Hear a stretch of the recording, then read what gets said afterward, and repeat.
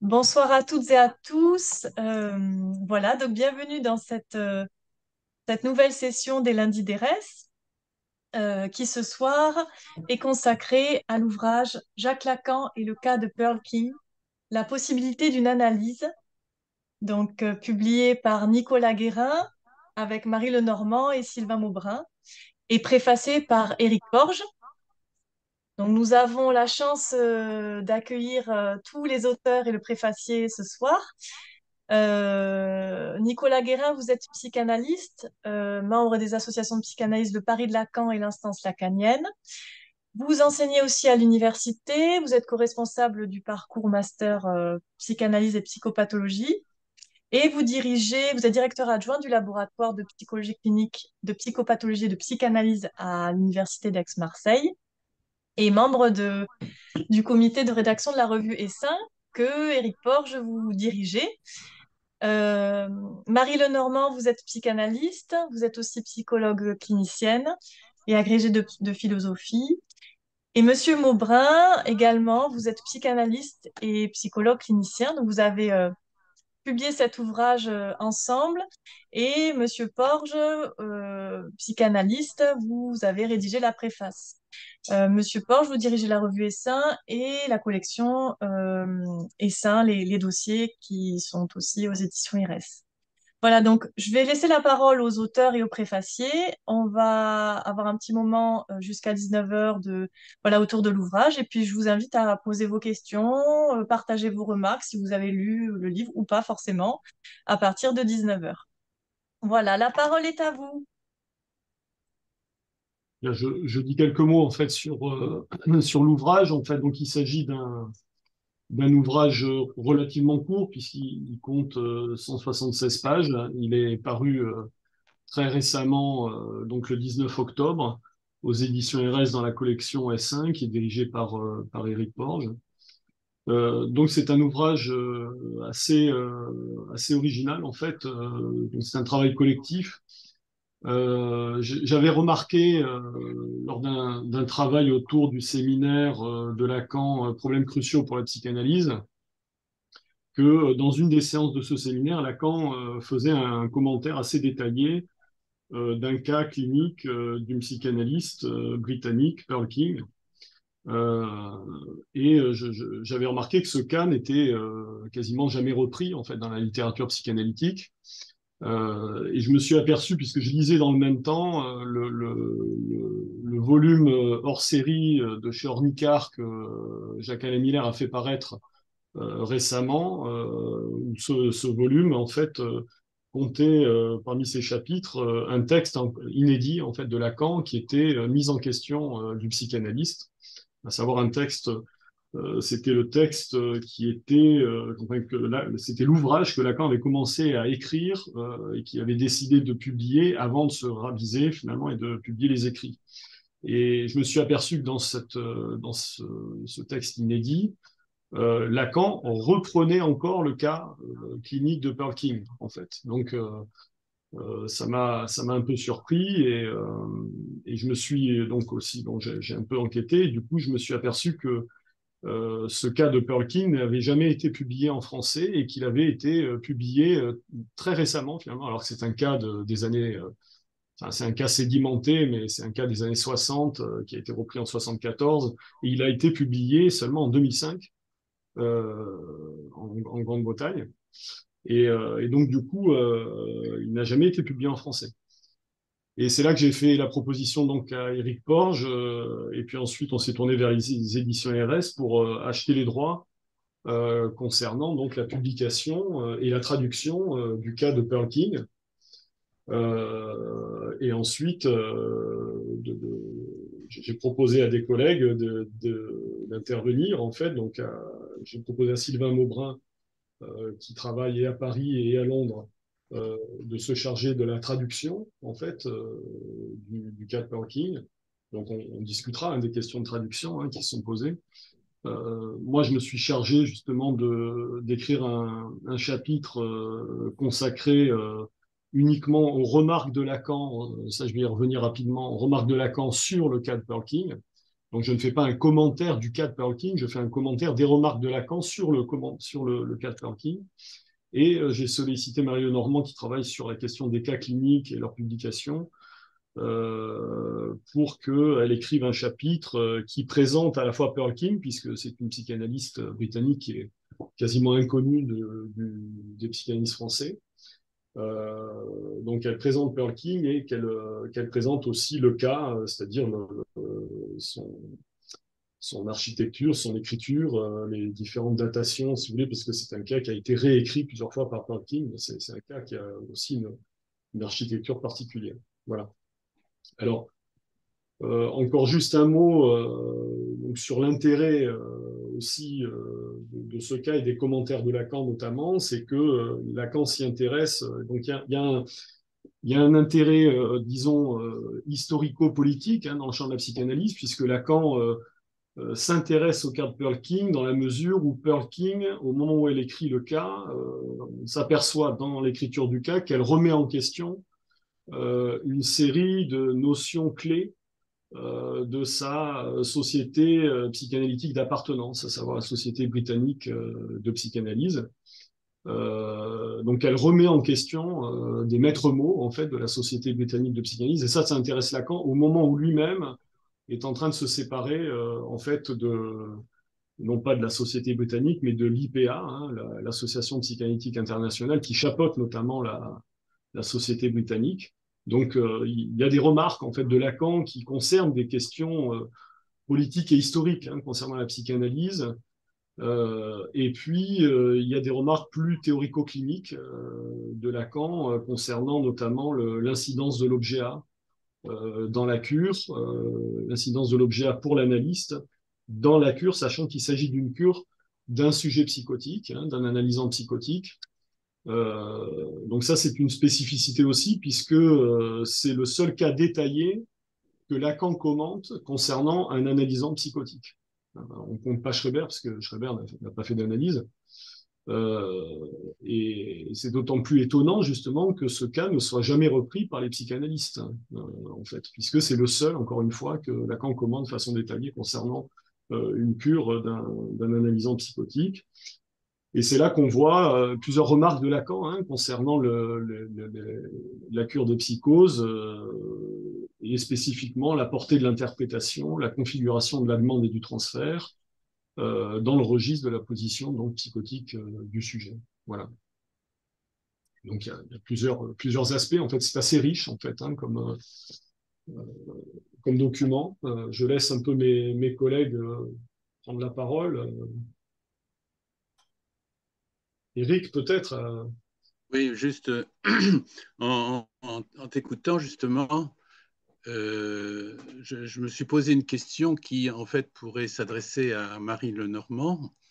C'est-à-dire je me suis demandé, est-ce que Pearl King a eu connaissance de, bon, un peu de ce que Lacan pouvait penser de ce cas? Enfin, est-ce que, euh, connaissance pas sur le moment, bien entendu, mais après coup, puisqu'elle a vécu quand même très tard, elle est morte, je crois, assez euh, récemment. Enfin, donc elle a, elle a vécu assez est-ce qu'on peut avoir enfin, une idée de la façon dont Pearl King elle-même a, a, lu euh, Lacan, se, commentant son cas? Marie Lenormand, est-ce que tu, sais, tu as quelque chose là-dessus? Euh, alors, si j'interviens maintenant, peut-être euh, bah, c'est l'occasion de, de l'entrée en matière, c'est euh, la question des archives euh, à la Société britannique de psychanalyse.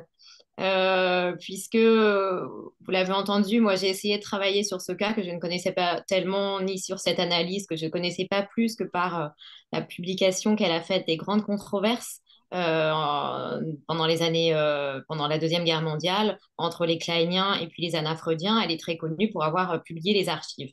Elle est elle-même celle qui a fondé les archives aujourd'hui de la Société britannique de psychanalyse. Et à cet égard, une fois que j'ai découvert euh, en lisant cet article et puis en lisant d'autres articles dans le même euh, livre que euh, c'était un cas palimpseste, à savoir qu'elle l'a réécrit au moins cinq ou six fois, c'est-à-dire euh, elle utilisait des morceaux et, et, elle recyclait tout en modifiant les versions au fur et à mesure en fonction, à mon avis, des apports théoriques qui lui permettaient de réélaborer le cas et en fonction aussi de, des différents moments de la cure. Parce qu'il y a trois moments dans la cure euh, et il y a au moins cinq moments d'élaboration qui s'entremêlent et euh, qui, euh, à, chaque, à chaque réélaboration, en tout cas pas à chaque réélaboration, mais à un certain moment donné, permettent de repenser le cas, mais aussi la cure.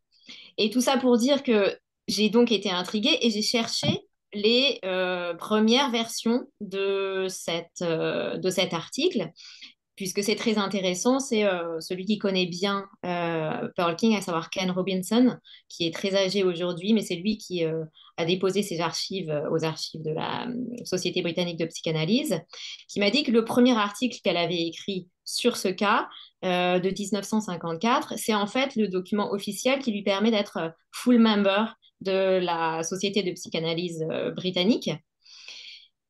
Et à cet égard, donc, pour essayer de répondre à la question et puis entremêler ça au travail qui a été le mien, j'ai essayé de décrypter quelles avaient été les étapes d'élaboration du cas, quelles avaient été les différentes étapes de la cure. Et comme cette dame avait elle-même fondé les archives de la Société britannique de psychanalyse, je me suis intéressée euh, au, voilà, si je pouvais avoir accès à ces documents. Euh, la réponse est très très décevante. C'est que l'année dernière, il y avait eu une, euh, une avarie, c'est-à-dire il y a eu euh, une inondation des archives, donc j'ai pas pu y avoir accès. ils m'ont réécrit six mois plus tard en me disant ça y est, on a rapatrié les archives qui étaient à l'autre bout de, de la Grande-Bretagne.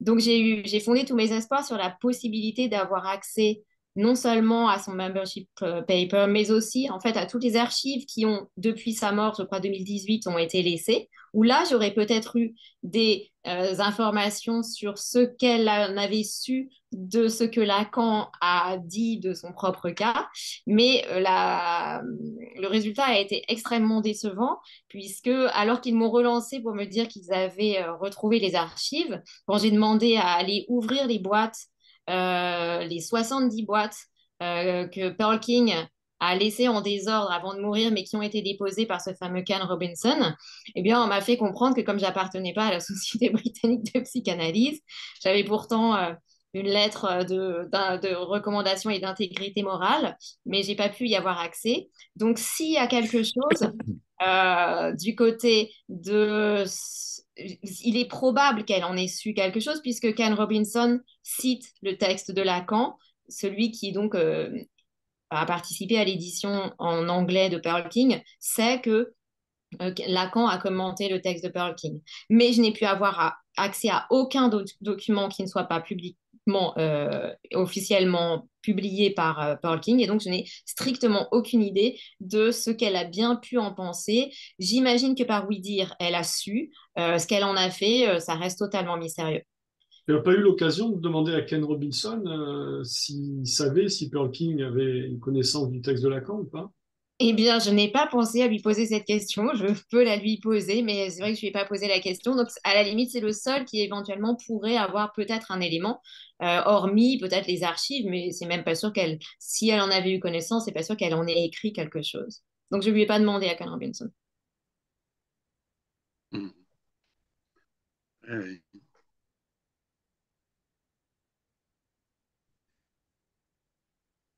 Donc il y a peut-être encore une, possibilité de, savoir si tu demandes à Ken Robinson un jour euh, s'il en sait quelque chose.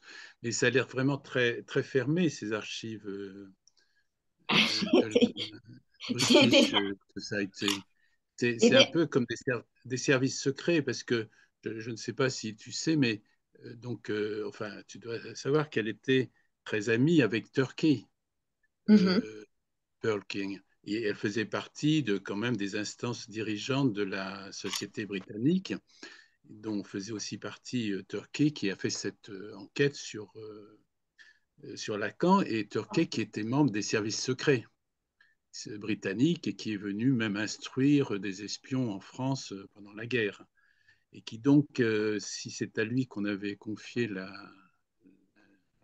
l'enquête sur Lacan, c'est vrai que s'il était doué pour ça, et euh, peut-être que par des archives du, ministère des, de l'Intérieur, peut-être on trouverait quelque chose dans les archives de Turquie qui, pourrait nous renseigner. Je vais un peu loin, hein, mais il y a une affaire quand même secrète là qui, qui est étrange. Bah, c'est évident que les archives de la Société britannique de psychanalyse sont vraiment ultra fermées, sachant qu'il n'y a à peu près aucun enjeu, euh, hormis celui dont on m'a dit euh, la dernière fois que euh, il respectait l'idée selon laquelle il fallait que le patient ait supposément 100 ans. Donc, il calcule qu'en 1954, le patient avait 16 ans. Donc, je vous laisse faire le calcul. ça veut dire qu'ils n'ouvriront pas le dossier avant qu'il ait supposément 100 ans, c'est-à-dire dans une vingtaine d'années, euh, et pour des raisons, invoque-t-il, de, de confidentialité sur le patient? Donc j'ai eu beau leur dire que ça m'intéressait pas du tout, qu'ils pouvaient enlever tout élément qui permettrait de reconnaître le patient. Euh, ils sont absolument pas accédés à une demande de, ce type-ci. c'est un peu dommage parce que c'est Pearl King qui a fondé les, ces archives. Euh, et en fait, euh, c'est des archives qui servent à rien, euh, parce que je doute que quelqu'un aille s'y intéresser ultérieurement, mais c'est comme ça. Sylvain, tu veux dire quelque chose sur les enjeux de traduction? Parce que ça a été aussi tout un exercice, une aventure. Hein, oui, en effet. Bah, ça, ça rebondit peut-être un petit peu sur ce que Marie disait juste avant, c'est-à-dire sur cette histoire de recyclage et de réélaboration. Euh, je dirais que dans, dans, le, dans le travail de traduction lui-même, euh, qui était peut-être assez difficile et qui tranchait quelque peu avec les autres textes de Pearl King, j'ai trouvé, c'était justement euh, cette manière de garder des éléments euh, du premier texte, de la première mouture pour le euh, pour son membership quand elle a donc été euh, analyse de, de la société britannique, et les rajouts euh, et les réélaborations successives qu'elle rajoute euh, dans le texte, qui donne des phrases extrêmement longues, euh, très très longues euh, pour lesquelles je me suis demandé euh, si justement il ne s'agissait pas pour Pearl King à ce moment-là d'être à la fois dans une forme de confortation, de conforter un petit peu l'école britannique, tout en amenant, on va dire, les, les éléments qu'elle découvrait au travers du travail avec son cas et donc les éléments autour du transfert. Et donc dans, dans, dans le travail de traduction euh, moi j'étais assez en difficulté face à vraiment ces, phrases extrêmement longues où on entendait voilà à la fois quelque chose qui ne voulait pas froisser la, la société britannique de psychanalyse, mais, qui, mais en tout cas elle ne cédait pas pour autant tout à fait. Euh, puisqu'elle y ajoutait tout de même ces points d'élaboration successifs qu'elle avait pu euh, repérer dans le décours de ce travail avec ce patient. Voilà. Donc euh, ça, c'est quelque chose qui m'a beaucoup intéressé, à la fois qui n'était pas évident et dont, on a pu en effet pas mal discuter, Nicolas. Après, il y avait des points de détail aussi concernant les, commentaires de Lacan. Ce que j'ai trouvé notamment intéressant, enfin, il y, a, plein de choses en réalité, mais ce que j'ai trouvé intéressant, c'est que Lacan avait décidé d'interrompre son séminaire sur les noms du père en 63 et de plus parler des noms du père. Mais on voit très bien que dans le commentaire qu'il fait de Pearl King, donc euh, un petit peu après, euh, et dans les deux versions de ses commentaires, c'est-à-dire dans mise en question du psychanalyste et dans la séance du séminaire Les problèmes cruciaux, euh, il, il, glisse des éléments sur le nom du père, puisqu'il s'agit d'un analysant psychotique, donc il est question de la forclusion du nom du père. Et on voit bien en fait qu'il reparle du nom du père euh, d'une certaine manière, finalement, euh, à travers le cas de Pearl King. Ça, c'est un premier élément. Le deuxième élément, qui ça euh, excuse-moi Nicolas, ça, vient un peu, le nom du père, là, vient un peu en toile de fond, effectivement. Mais ce qui semble être l'enjeu, enfin, semble l'enjeu pour Lacan, là, c'est de, justement situer l'analyse non pas, même avec un psychotique, non pas en fonction du nom du père, mais euh, en fonction, comme tu l'as dit tout à l'heure, de l'objet A. Oui, oui.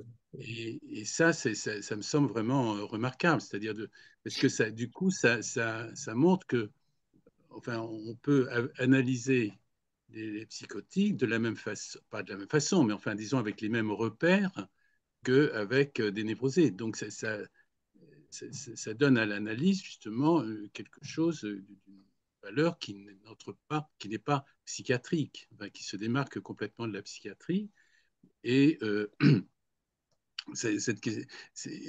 dans la même année finalement que les problèmes cruciaux, euh, effectivement, c'est pas un cas, c'est un cas publié, c'est pas un cas de Lacan, mais que Lacan euh, quand même analyse, euh, à partir d'une expérience clinique, celle de Marguerite Duras avec l'Olvestein, c'est-à-dire où il y, a une certaine proximité dans l'analyse de Lacan qui fait entre Perking, le cas de Perking et l'Olvestein à travers le roman de Marguerite Duras qui a rencontré un malade à l'hôpital psychotique et qui, à partir de là, a fait ce, roman. Mais où, en effet, dans son analyse de Stein, Lacan, euh, tout tourne autour de l'objet A, enfin du fantasme de, l'être, euh, du fantasme de l'être à trois, dans lequel elle, qu'elle réalise en quelque sorte. Et c'est ça, je trouve, qui est, tout à fait euh, intéressant pour, nous aujourd'hui, quoi. C'est de voir que euh, Lacan a fait un certain pas de côté, quoi. Enfin, avec, euh, Oui, puis en plus, ce, qui est, ce qui a tout à fait, ce qui garde son actualité, en fait, c'est par rapport aux commentaires de Lacan, c'est que on voit très bien que Lacan suit une ligne concernant la, la cure des sujets psychotiques qui n'est pas du tout celle d'un certain courant aujourd'hui euh, dans le champ lacanien concernant, concernant la cure des sujets psychotiques. À savoir que euh, aujourd'hui, euh, beaucoup d'analystes dans le champ lacanien préconisent avec les sujets psychotiques de soutenir les identifications par conformisme, les identifications normatives, les idéaux, etc. Alors que la réparation. Voilà, c'est ça, l'orthopédie, en quelque sorte, euh, l'orthopédie identificatoire. Alors que euh, Lacan reproche justement à Pearl King de ne pas assez mettre en question euh, justement les identifications, ce qu'il appelle les identifications falsifiées de, de l'analysant, c'est-à-dire des identifications par conformisme justement. Donc on voit très bien que les remarques de Lacan sur la direction de la cure euh, visent une sorte d'horizon en fait qui n'est pas du tout le même que euh, celui que, qui oriente certains commentaires aujourd'hui dans le champ lacanien concernant les psychoses.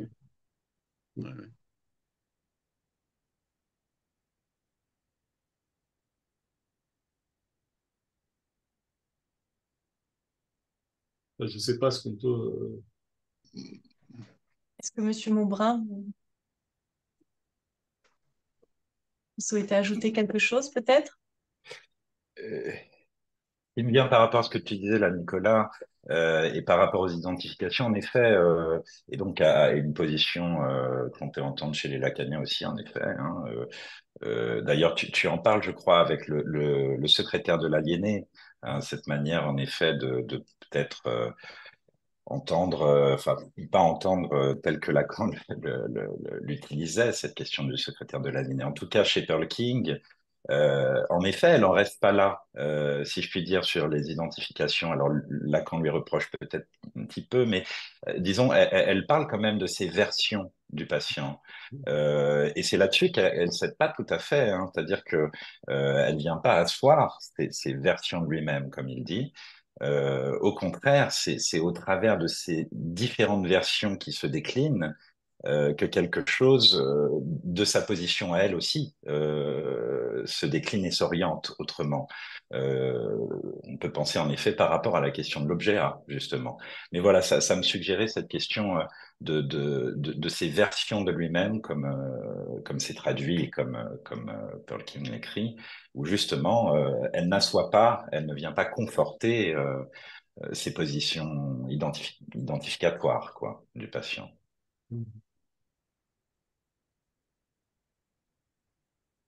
Oui, après, concernant les traductions, on avait discuté hein, sur les usages des termes comme le soi, le moi, Pearl King utilise, euh, euh, le, même la, ces considérations sur l'objet, en fait.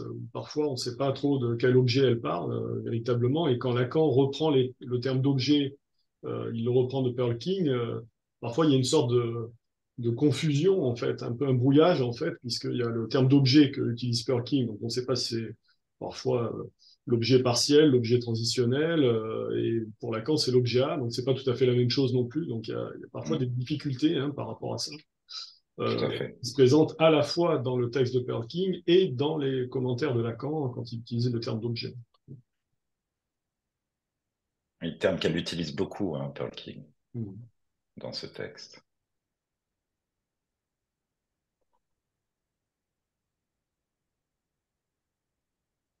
Merci. Il est, il est 18h57. Est-ce que peut-être, cher... oui, allez-y, allez-y, monsieur. ce que tu dis, Nicolas, sur qu'effectivement, on avait discuté de ces difficultés aussi de traduction là, pour le, les termes d'objet, puisqu'il y a euh, tous ces termes d'objet dans, dans, la littérature analytique anglaise, française, mais que, et que justement, Lacan n'en tient aucun compte, quoi. C'est-à-dire ne discute absolument pas ça. Il, il, euh, enfin, il analyse le cas avec ce, fil de l'objet A, mais comme si justement ça, euh, c'était en dehors de ces problématiques de l'objet transitionnel, l'objet euh, de Mélanie Klein, etc. Euh, et que, en quelque sorte, l'objet A venait là justement dépasser tout ça, n'était comparable à rien de tout ça, et permettait de, une utilisation qui, justement, euh, bah, euh, ne tombait pas dans, dans les difficultés de, de, ces maniements d'objets euh, partiels, etc., par Mélanie Klein ou l'école anglaise, enfin, l'objet de Winnicott, des choses comme ça. Et c'est ça, c'est intéressant. Et donc, juste un dernier mot, je, je remarque, là, je ne m'étais pas aperçu que dans le sous-titre, la possibilité d'une psychanalyse je me souviens plus comment ça a été choisi. Ça doit être toi, Nicolas, peut-être qu'il a choisi, je ne sais plus. Oui, j'ai euh, eu l'idée euh, après avoir lu ta préface. Ah bon? Ouais. Ah oui. Parce que, euh, si tu veux, c'est. Alors, je ne sais pas si c'est pour ça, mais dans, les noms du Père, Lacan dit, il parle de l'objet A précisément du côté du possible, c'est-à-dire que ce soit possible de l'utiliser. Il faut que ça s'arrête pour que ça recommence, c'est-à-dire qu'il faut que ça s'arrête de s'écrire, que le, il y a la contingence de l'objet A, c'est contingent, ça, ça, s'arrête de s'écrire pour que ça redémarre. Et donc c'est quelque chose là qui du, possible qui convoque effectivement dans la logique de Lacan qui convoque l'objet A justement. Mmh. C'est dans les noms du Père.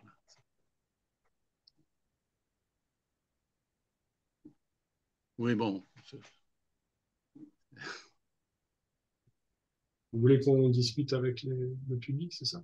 Oui, voilà. Est-ce que on peut passer peut-être aux, questions et aux remarques euh, des participants? Vous êtes particulièrement nombreux ce soir et nombreuses.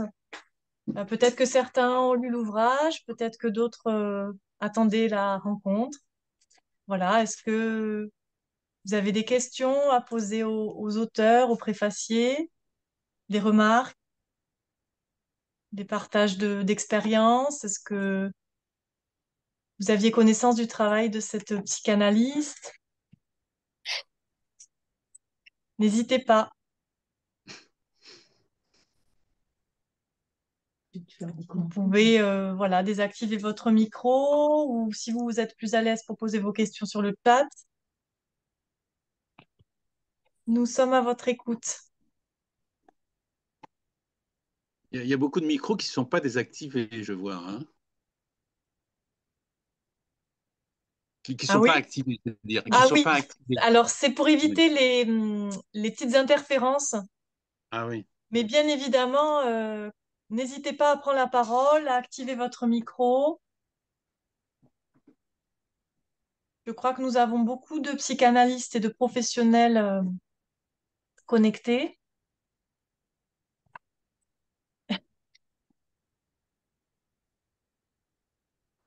Si la première question est trop intimidante, on peut passer à la deuxième.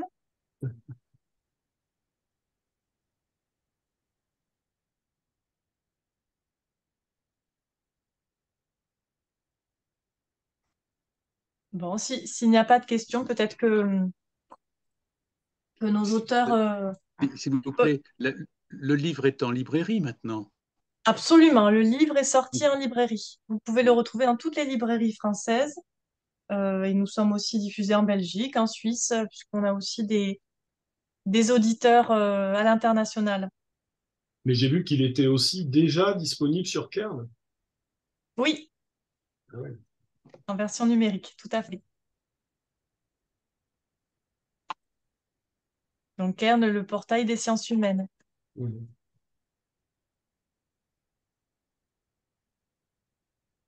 Est-ce que euh, peut-être euh, qu'on peut poursuivre la, la, présentation de l'ouvrage. Et puis n'hésitez pas si vous s'il y a des personnes qui ont des questions, qui veulent intervenir.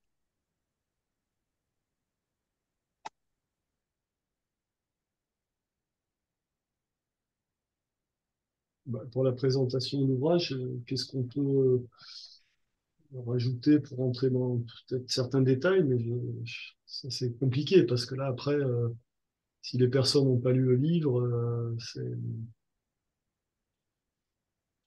difficile de.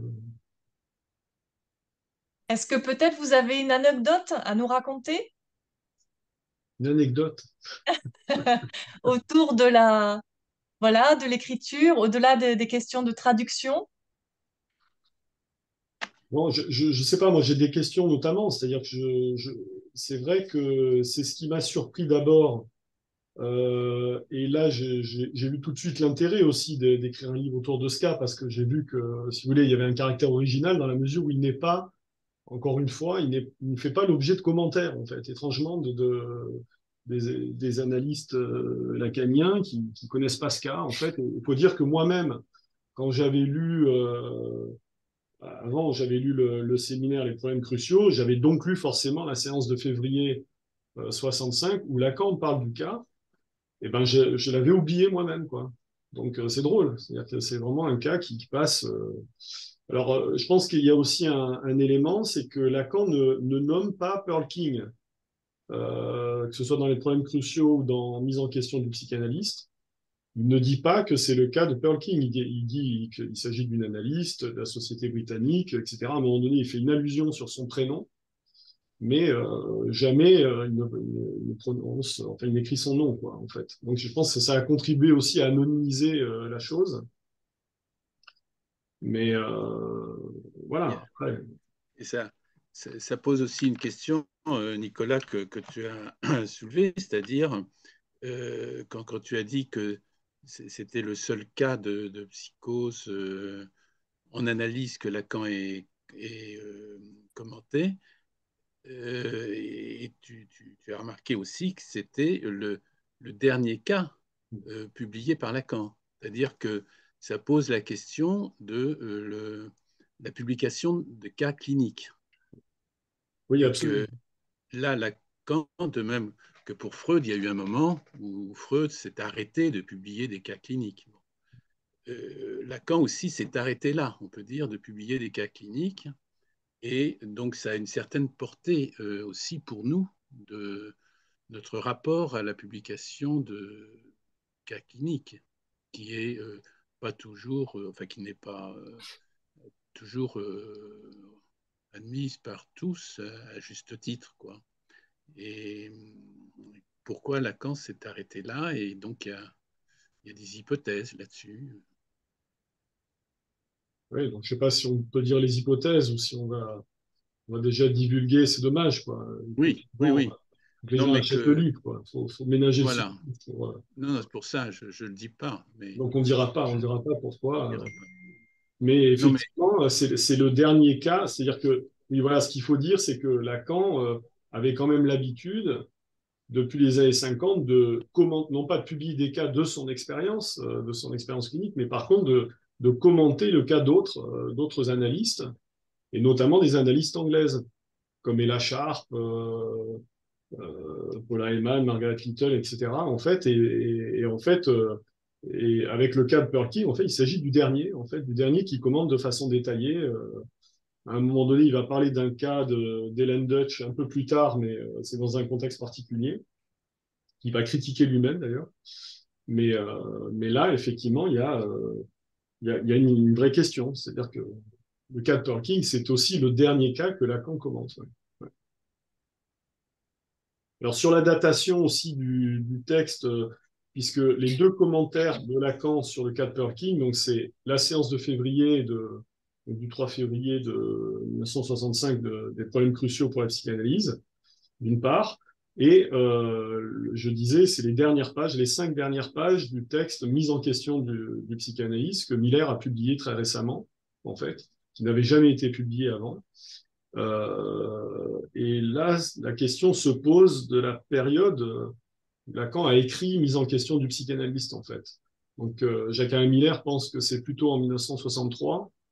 Euh, moi, j'ai plutôt l'impression qu'il a dû commencer en 63, mais c'est surtout concentré en 65, donc à peu près, en 64-65, donc à peu près au même moment du séminaire Problèmes cruciaux pour la psychanalyse, puisqu'on retrouve dans Mise en question du psychanalyste, euh, dans le texte, on retrouve beaucoup d'éléments qu'on trouve dans le séminaire Problèmes cruciaux euh, pour la psychanalyse.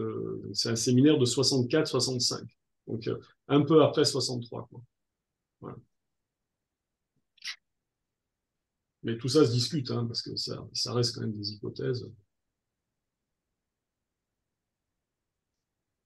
Est-ce que peut-être, euh, à la lumière de, cet ouvrage, on peut euh, observer des différences euh, entre les pratiques d'analyse, par exemple d'analyser en français, d'analyser en anglais?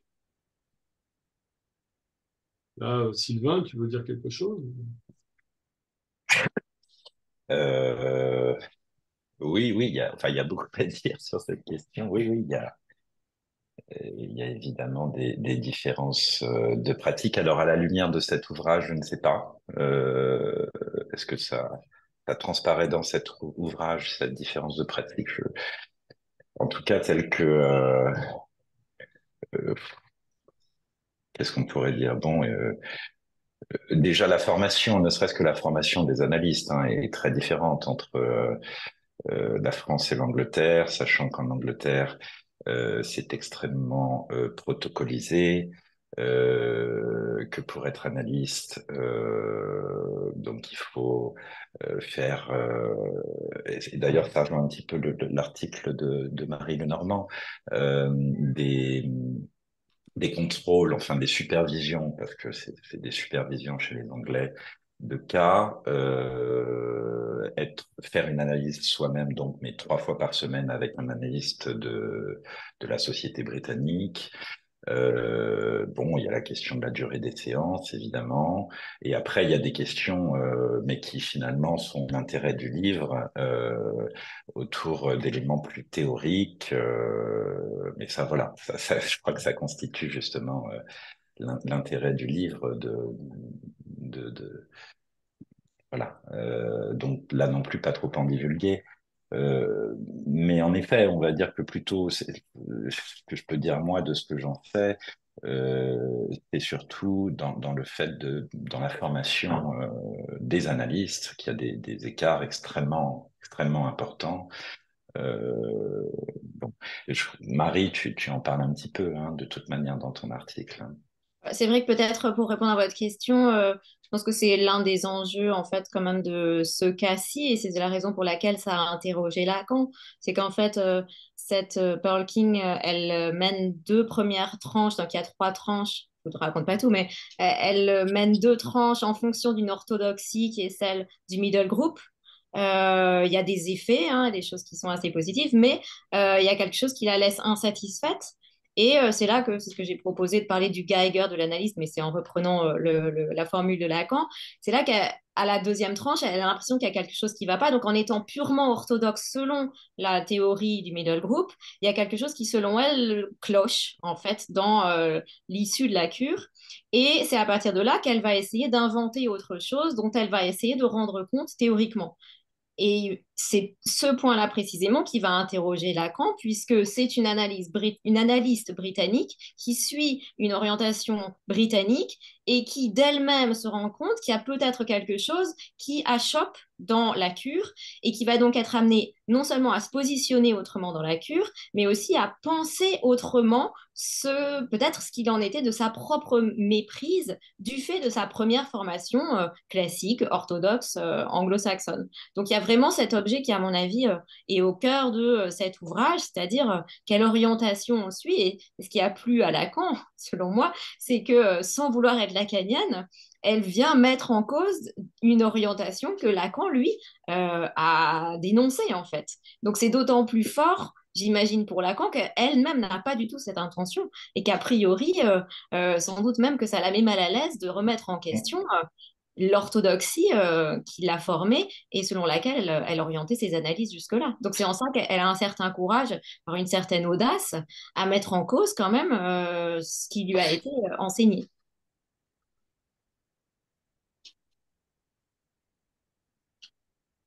Alors, elle essaye un peu de se rattraper hein, dans la version de 74 en, en se recalant sur Paula Heyman, en fait. Euh, mais, euh, mais, effectivement, il y a une position intéressante. Moi, ce qui m'avait, ce qui m'avait interpellé, j'en parle pas en fait dans mon dans mon chapitre. Euh, euh ce qui m'avait interpellé, c'est notamment, euh, ça m'est venu à l'esprit en discutant avec toi, Sylvain, sur les questions de traduction, mmh. c'est-à-dire sur les, les, usages en fait qu'elle qu'elle fait des termes de soi et de moi et qu'elle utilise dans la cure elle-même et dans le vocabulaire avec le patient. C'est-à-dire que le patient lui-même dit ça c'est une version de moi-même, euh, cette version de moi-même a dit ceci, euh, ça cette autre version de moi-même, euh, cette autre soi, elle-même a dit mais ça c'est l'un de vos soi, etc. Et en fait, cette espèce de vocabulaire comme ça avec des multitudes de soi, de moi, etc. que le que l'analysant partage avec l'analyste euh, prépare complètement le terrain à cette notion de personnalité multiple qui, euh, qui, euh, qui se développe dans le monde anglo-saxon, en fait, hein, c'est-à-dire et bien, particulièrement aux États-Unis. Ça, c'est tout à fait intéressant parce qu'on voit bien que c'est ça, en fait. Il y, a, vraiment quelque chose avec la une conception du moi, quoi, une conception un peu imaginaire des choses, mais, mais que, le, que, le, que l'analysant adopte, en fait. Il adopte dans son vocabulaire ces termes-là, en fait. Mais ça, c'est une parenthèse hein, que je fais maintenant, mais euh, euh, j'en ai pas parlé dans le, chapitre. Ça sortait un peu de, des questions, en fait, hein, parce qu'il n'y avait pas de remarque de Lacan par rapport à ça.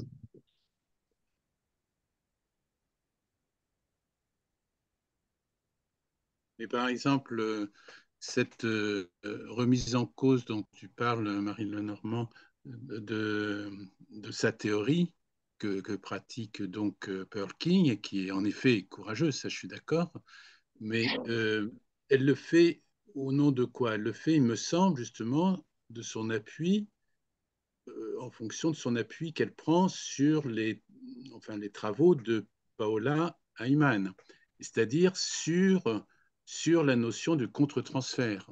C'est-à-dire que c'est en validant la notion de contre-transfert qu'elle peut se permettre justement cette critique, non? Est-ce qu'on pourrait Alors moi, j'aurais une interprétation un peu différente, mais euh, c'est à discuter. C'est que elle, ça lui tombe comme ça, il nous explique pas en fait ce qui lui permet de prendre appui. C'est cette fameuse formule I found myself saying, c'est-à-dire à un moment donné, elle dit quelque chose dans la cure euh, où, elle, ça renverse tout, mais elle ne nous ah explique pas du tout d'où ça vient, ni, euh, ni elle n'en tire véritablement des conclusions.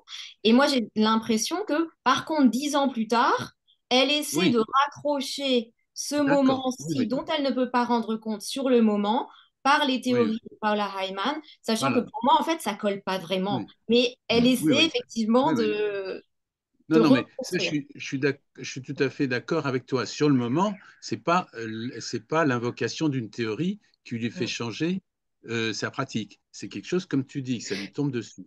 Mais c'est après qu'elle peut s'appuyer sur euh, la théorie de Hyman, Paula Hyman, du contre-transfert. D'ailleurs, c'est drôle parce qu'elle dit que la, la, position de Paula Hyman est une position hérétique, elle utilise ce terme, une position hérétique par rapport euh, à Freud, ce qui est vrai en plus, euh, par rapport à la question du contre-transfert, etc. Mais, euh, mais en fait, ça, ce terme d'hérésie, en fait, caractérise aussi sa, sa, position à elle, à Pearl quand elle remet en question des, des, des, des, axiomes quoi, de, de, de la, Quoi. Mais c'est intéressant parce qu'elle ne se l'attribue pas à elle. Hein. Hmm la hmm. question de l'hérésie, mais elle l'attribue à Apollo Eman. Oui. Oui,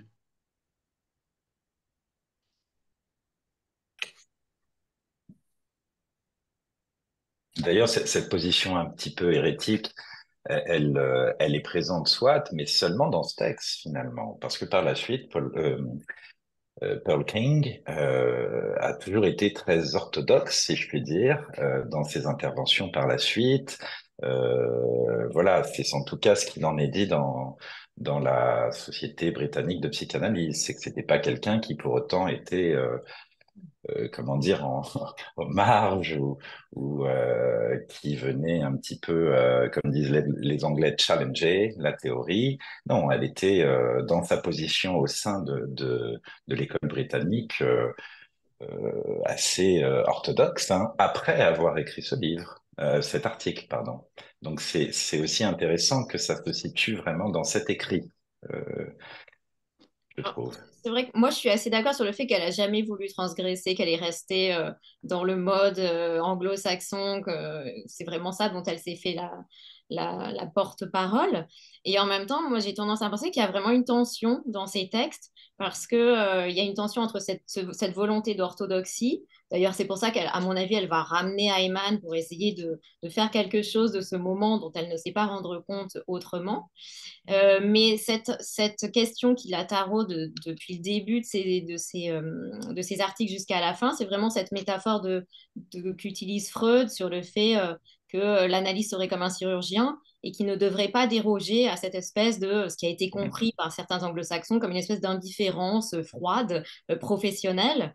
Et elle ne cesse de revenir là-dessus en s'interrogeant sur est-ce qu'il ne faudrait pas transgresser, et là elle en parle dans ce texte-là, mais dans plusieurs autres, est-ce qu'il ne faut pas transgresser cette espèce de caveat freudien, ou en tout cas la façon dont il a été rigidifié dans l'orthodoxie euh, anglo-saxonne? Donc moi, j'ai l'impression que si c'est vraiment pas euh, une rebelle, euh, il y a toujours une tension dans ces textes qui en arrive à interroger, mais elle ne fait pas le pas qui, la, qui la ferait sortir en fait de cette orthodoxie, mais elle vient systématiquement reposer la question et ça insiste. Donc peut-être j'aurais cette nuance à apporter par rapport à son positionnement elle ne cesse d'interroger, mais elle ne fait pas le pas qui lui la ferait sortir en fait de cette orthodoxie.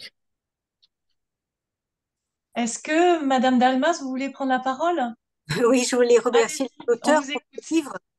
Euh, et j'ai bien aimé, enfin, moi j'ai été, euh, j'ai apprécié le, cette dimension que vous avez pu mettre euh, de cap à Comment ça s'écrit? Comment ça se, dans ces entre-là, comment ça se, la, nécessité pour l'analyste d'écrire ce cas et dans ces différents moments? Et, justement, à la fin, la question du post-scriptum, qui finalement, c'est un peu, enfin, j'ai eu l'impression qu'il y avait quelque chose qui se modifiait aussi dans cette position de l'analyste, dans, la direction de la cure. Mais à la fin, comme s'il y a quelque chose qui pouvait se relire ou euh, autrement, en fait. Je sais pas, moi, ce que j'ai. Voilà, ça m'a. J'ai beaucoup aimé cette dimension d'écriture de l'analyste. C'était juste une remarque. Hein, oui, est-ce que nos auteurs ont une réaction? Bah Oui. Alors c'est vrai que c'est moi, c'est vraiment ce sur quoi j'ai travaillé. Et euh, moi, j'étais très frustrée parce que j'espérais en fait, euh, vu qu'il y a plusieurs strates, qu'elle réécrit, qu'elle modifie un certain nombre de choses, euh, j'avais très envie d'avoir les premières strates euh, pour voir un petit peu, parce qu'effectivement, je suis d'accord avec vous sur le fait que changer l'écriture du cas, c'est pas simplement un problème théorique. Changer l'écriture du cas, en tout cas jusqu'en 63, a priori, c'est concomitant d'un changement de position de l'analyste. Donc, ça ne se superpose pas complètement, là, changer la théorie et changer l'écriture et l'interprétation, mais il y a un moment donné où les deux s'articulent. Et donc, j'étais très frustrée de ne pas trouver les premières versions pour m'assurer que c'était véritablement ce dont il avait été question, euh, euh, puisqu'il y a des problèmes de datation, vu que moi, j'ai travaillé à partir d'une version euh, et j'ai été obligée de reconstruire les, les versions fantômes antérieures. Euh, sans pouvoir avoir vraiment d'appui. Donc, j'ai fait des hypothèses d'hypothèses. Mais je trouve que c'est très intéressant le fait que, évidemment, on voit à l'œuvre à quel point interpréter le cas, euh, ici, a eu des incidences parce que l'interprétation du cas change entre deux tranches et qu'elle permet à l'analyste ou en tout cas qu'elle est concomitante d'un déplacement dans le transfert de cette analyste-ci. Et donc, j'ai trouvé ça très, très parlant, en fait, qu'on puisse le voir. J'ai juste été ennuyée de ne pas pouvoir le montrer plus clairement à l'appui des textes, les premiers textes qu'elle avait écrits.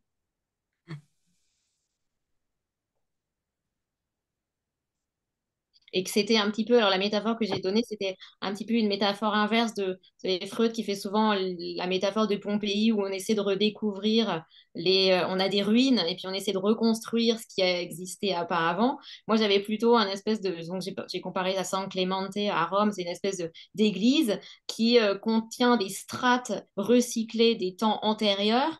Et donc, j'ai essayé de reconstruire la villa romaine euh, des premiers temps qui a été recyclé dans la version euh, finale architecturale, mais dont on n'a que des éléments, des, des, fragments. Et à partir de là, bah, les, conclusions qu'on en tire sont évidemment euh, sujettes à, caution. Mais c'était un petit peu le, travail inverse que j'ai dû faire. Le, le l'édifice final, sans avoir les premiers édifices qui ont été recyclés pour l'édifice final. Mhm. Oui, mais il y avait cette dimension aussi de l'écriture du cas pour l'analyste, c'est-à-dire qu'il y a effectivement il y a le contrôle, mais se mettre au travail de l'écriture du cas, comment ça modifie aussi la position de l'analyste, cette, cette écriture. En fait, il me semblait hein, dans le qu'on voyait aussi. Euh, il y a l'écriture, il y a l'écriture et le, mode de diffusion du cas aussi. C'est ça qui est intéressant parce que Pearl King a, finalement, euh, je veux dire, elle a, elle a réécrit le cas plusieurs fois mais elle a décidé de le publier très tardivement, en fait. Hein. Puisque c'est vrai que c'est un cas sédimenté depuis 1954, mais euh, la version de 63 n'est pas une version publiée non plus, la version de 74 n'est pas non plus une version publiée. Et donc, on ne sait pas pourquoi, en fait, elle n'a pas décidé de le publier avant.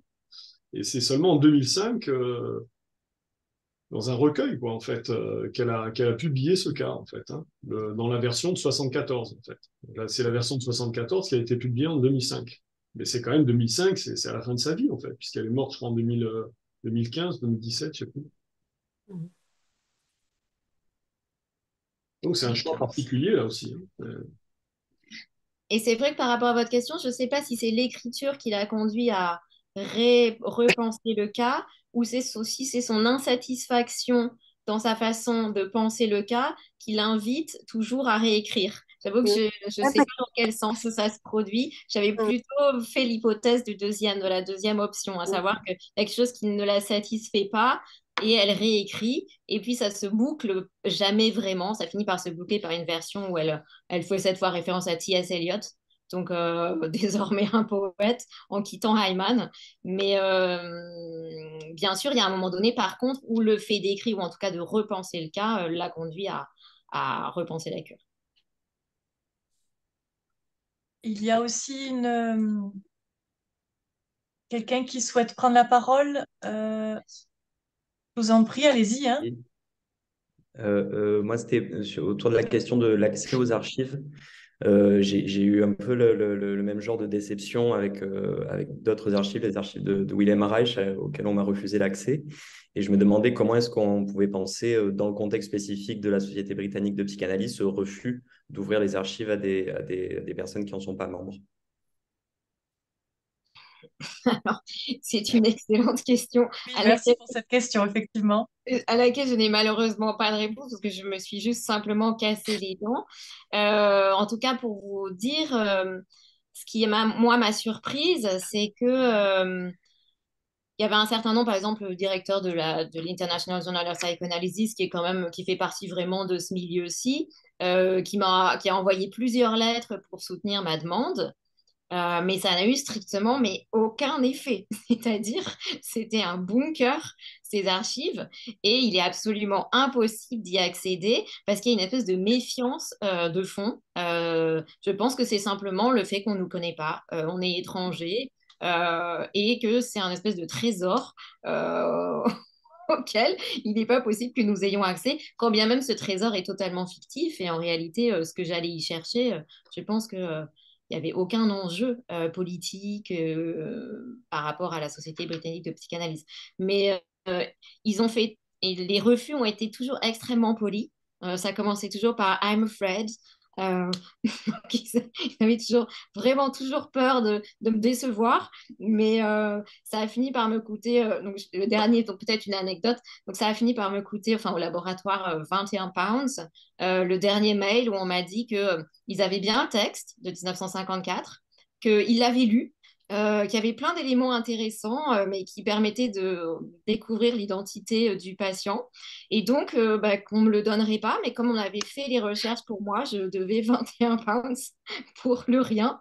Donc, j'ai trouvé ça assez joli comme, comme, comme résultat des archives. C'est-à-dire, j'ai payé pour rien.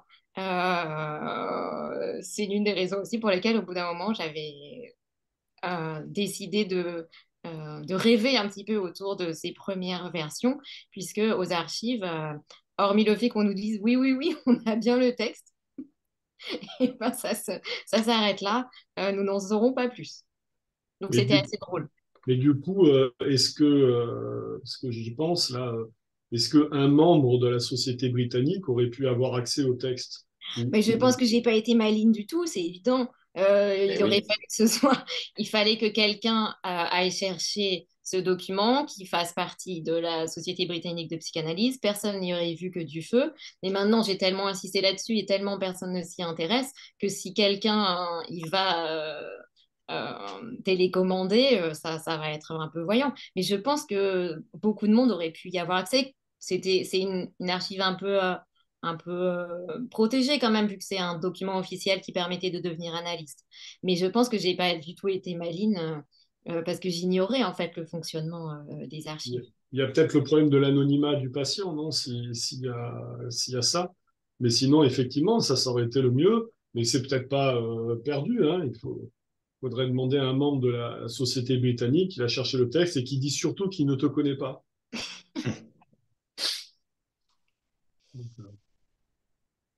Merci pour cette question. Euh, s'il n'y a pas d'autres interventions, c'est votre dernière chance. Nous allons euh, terminer cette session.